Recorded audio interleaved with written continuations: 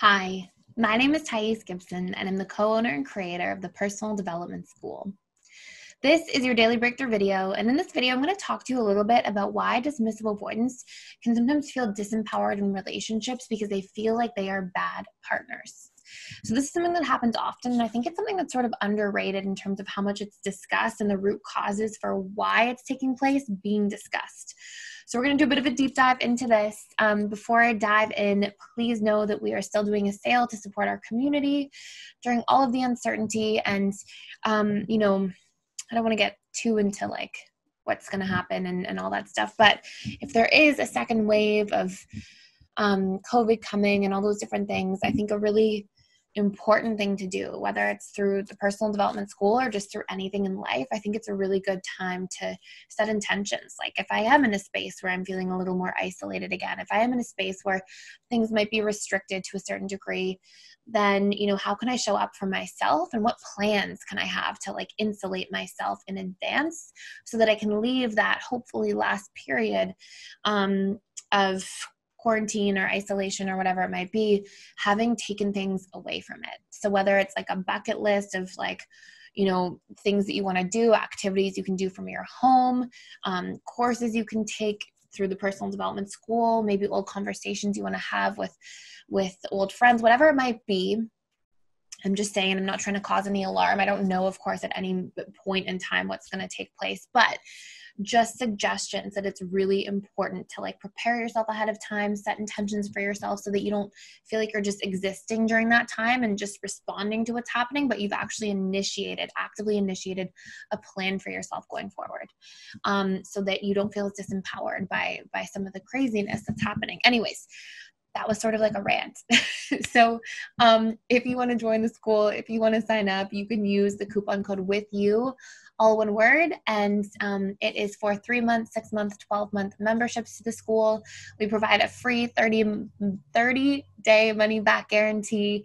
Um, if anybody's like unhappy with the content, we haven't had anybody request a money back guarantee for that reason um, since we've launched the school. So that's been a beautiful blessing.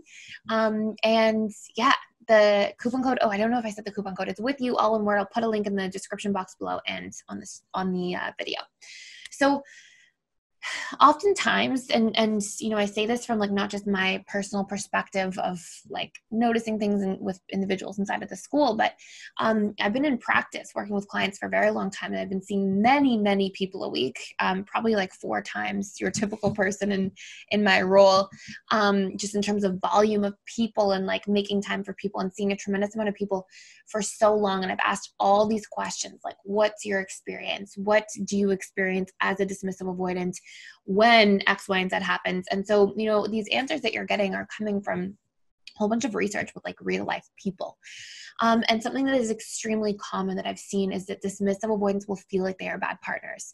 And it's really interesting because it often sort of takes place in duality. It's like they're aware of their differences to a certain degree.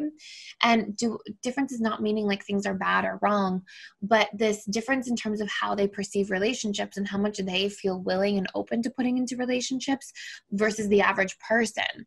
And so they're aware to a certain degree of like, okay, you know, I might not be as interested in commitment. I might not be normal in the sense of um, how much I prioritize a relationship, how much I put it on a pedestal, how romantic I feel towards relationships, and how much that's like a huge, um, you know, priority in my life or, or huge need in my life. Um, so they can sometimes feel like eh, you know is something wrong with me and they can give that meaning and that can make them feel like they need to retract and pull away and it's very disempowering because it activates those big shame and defectiveness wounds inside the relationship to self. But then on the other hand they can sort of go to the opposite end of the spectrum which is like why is everybody like this? People should be taking care of themselves and you know why are people relying on on each other so much? It doesn't it doesn't seem reasonable or, or rational. So they can sort of go in either polarity. Now, on one end, and this is like common with the human experience um, for a lot of individuals, you know, on one end, they can have a superiority take or stance, right? Like, oh, like people don't know how to show up for themselves or regulate themselves. Like people aren't logical or rational enough, and sort of be in that that space of going, well, I am, and I'm the dismissive avoidant, and things like that. But then at other points in time, and especially when they're trying in relationships and they're not getting the response that they're hoping for or looking for, especially when they're invested in a relationship, essentially, like basically any point from honeymoon phase forward. Often instead, when they feel like they're not doing something right or or somebody's upset with them again for something or somebody's being critical they often instead feel like okay i'm just defective. Something's wrong with me. I'm not enough. I'm unworthy. I'm not able. I've heard these words so many times. I am not able or capable of giving this person what they they need so they deserve more. And they really make it you know them being wrong them being bad. And then oftentimes where we won't see and i can make a separate video on this why we don't see dismissive avoidants chase after partners a lot of the time especially if there's like a breakup. Often why we don't see this just at a high level is that um, they feel so disempowered. They like lose hope and faith in themselves. And so they won't be like oh you know i can do this. I've got this. I'll figure it out. I'm gonna woo the person. And you know do some romantic gestures and save the day. And i know i can count on myself to to fix these mistakes. They don't trust themselves to be able to show up in the way that they think their partner wants a lot of the time. And so sometimes they literally will will adopt the the mind frame or the um like set point of thinking that basically says you know, why bother? It's not going to work anyway. So there's no point in trying. And it can be a very like defeatist mindset. But a lot of it's because they didn't have modeling that showed them these things and that helped them develop like this belief in what they can do and how it should be.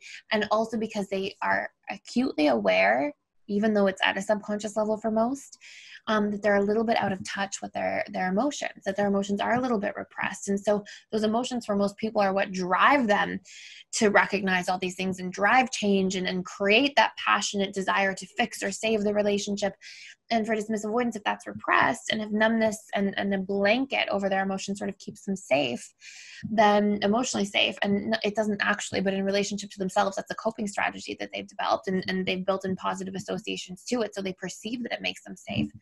Then um, often what this feels like is just you know i'm i'm incompetent underneath that. And so they desire to get it right but they often feel incompetent. And i i want you to imagine like i think everybody's had some form of experience. I've I've heard so many stories like this over the like these over the years. And i want you to think of a time in your life where like maybe it was at a job maybe it was like on a date maybe it was um, who knows, just some time in your life where you felt like you weren't capable of doing something and you knew you couldn't, or you just knew that, and, and, I think everybody can do anything when they put their mind to it and develop the skills and give themselves time and and all these different things. But like um, let's just say you've had an experience where like you literally believed I cannot do this, whatever it is, and you just fled the scene. Like you just you don't respond to the the message, or you don't go on that next date, or you don't show up to work the next day, or whatever it is. I've heard so many versions of this story, and it's because you're so afraid of feeling that shame, that shame that you've associated with incompetence and feeling like, well, I'm out of my league here. I can't do this. And it just feels scary and shameful and confusing and disempowering. And you're like, well, there's no point. I can't do this. This isn't me. And that experience that most other attachment styles have felt in some different form is often the exact type of feeling that has been described to me hundreds of times by dismissive avoidants in, t- in situations where they feel like they can't change their part of a problem in a relationship. And so they need to flee the scene, and it's that sort of space that they're coming from. So they can fear people seeing them like this. And also, obviously, if they feel criticized on top of that, they feel even more unsafe and it triggers even more shame and fear and confusion and all these different things. So, this is common. It often comes in the most when a partner is expressing their needs to a dismissive avoidant. The dismissive avoidant thinks they're meeting them, but the partner is not expressing the need with a strategy and painting a picture. So the need's like, oh, I need more love or I need more closeness. And the dismissive avoidant thinks like an act of service is going to do that when the person really needed like a physical hug or they needed like a love letter or they needed, but they didn't express how. And so the DA loves through their modeling, their programming, their experiences. And then when they get negative feedback when they're trying, that's usually the exact dynamic that makes them feel the need to like shut down and run away and pull back. So this is really important to note. If you are the dismissal avoidant experiencing this, do not worry. Okay, it's normal to feel these things. It's just part of your programming. You're, there's nothing wrong with you. This isn't like you know something that's defective in you this is like literally no different than somebody new, learning a new language. You just didn't have a lot of the modeling for that language. You have less exposure which means it's going to take a little bit longer to learn. But all these patterns are reprogrammable. We weren't born with these things. They were programmed into us and we can deprogram them or reprogram new empowering inspiring patterns that create fulfillment and thriving relationship dynamics, just the same way that these things were programmed in in the first place. So keep that in mind. Um, a really high level, easy place to start is to ask for clarity. Hey, you know, I'm confused about what that need me- means. Can you paint a picture of what that looks like? Can you give me a real life example?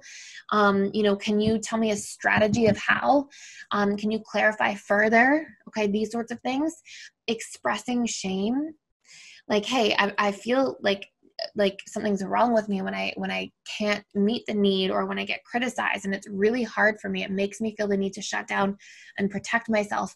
I need more clarity. I need reminders. I need a little bit of assistance at the beginning as i'm trying to do this. Could you try to do that? And and i'm going to do my best from my end to meet you halfway or even further. Okay so these sorts of things like being vulnerable opening yourself sharing communicating asking for what you need in these dynamics and situations and then, of course, as the DA as well, doing the work on yourself to reprogram your attachment style. And we have amazing in depth intro and advanced courses for doing that um, inside of the school. There's tons of videos on this channel that touch on different reprogramming tools and tactics, um, but expressing needs as a dismissive avoidant or from the dismissive avoidant, both are very important to, to creating sort of emotional immunity to this defeating cycle. So I hope that all makes sense. Thank you so much for being here. Thank you for watching. Please like, share, and subscribe if you're getting a lot of value out of this channel, and I will see you in the next video.